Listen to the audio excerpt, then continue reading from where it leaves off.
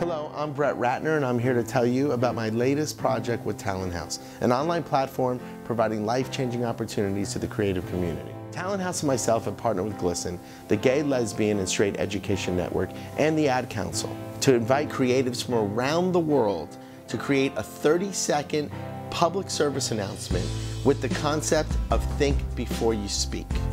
It's a campaign that's meant to raise awareness among teens about the power of language in America's schools. And we have an incredible panel of judges, including GLSEN, the Ad Council, Tom Ford, and myself. The winner will be flown to Los Angeles to attend the Respect Awards, where I will personally be there to present them with the Best PSA Award. Good luck with your submissions, and you can get more information on talenthouse.com.